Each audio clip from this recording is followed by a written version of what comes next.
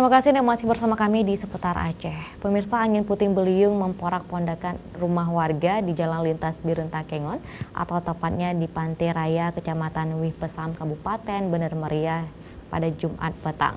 Warga kaget dan panik karena sebelumnya cuaca ekstrem tidak terjadi di wilayah itu.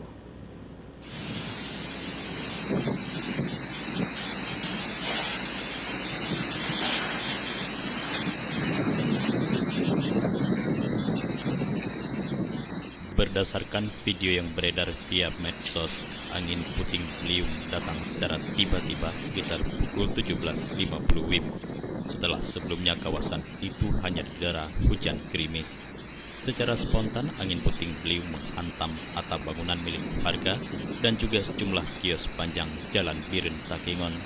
Selain menerbangkan atap rumah dan sejumlah atap toko, angin puting beliung juga menghantam bangunan fasilitas publik seperti puskesmas dan sekolah. Selain itu, angin juga menghantam tiang listrik yang mengakibatkan sebagian kabel listrik mencuntai rendah di sebuah persimpangan dan membahayakan bagi warga yang melintas. Menurut informasi yang dihimpun, tidak ada korban jiwa dalam kejadian ini. Namun ditaksir kerugian akibat bencana tersebut berkisar hingga ratusan juta rupiah. Akibat kejadian ini sebanyak 16 unit rumah atau bangunan yang dihuni 60 jiwa warga mengalami kerusakan di bahagian atapnya.